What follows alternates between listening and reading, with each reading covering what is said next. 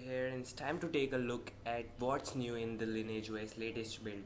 So recently it got updated to Android 7.1.2 Nougat and this is the next version of and probably the last version of Android Nougat.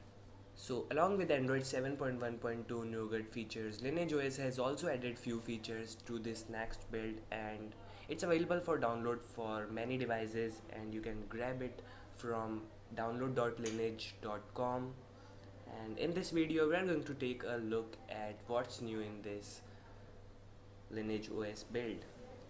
So the old boot animation is back and the squid boot animation was a part of uh, April Fool prank. So finally it's back and so the Lineage OS has been booted and the major bug that I faced is one cannot pass through the setup wizard. So as you can see that let's choose the language select next insert sim cards so i'm using this device as my secondary device and for testing ROM so i haven't installed any sim card yet. Let's skip this and set up as new. When you select this the setup wizard will stop. So I also have a trick to pass through the setup wizard and all you have to do is just select open the app again and select next next next and it will close again. And then you have to suddenly tap on the notification bar to open this panel.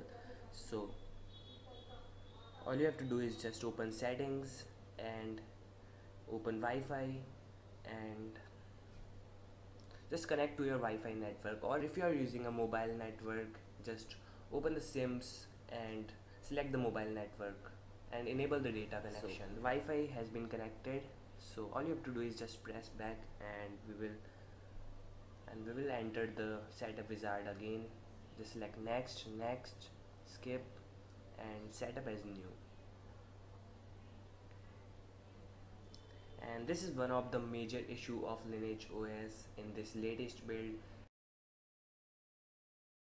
So along with the new features that we noticed earlier that here's the new recorder application new file ui and lineage has also added few tiles few new tiles to the quick tiles option like ambient display and many other extra tiles.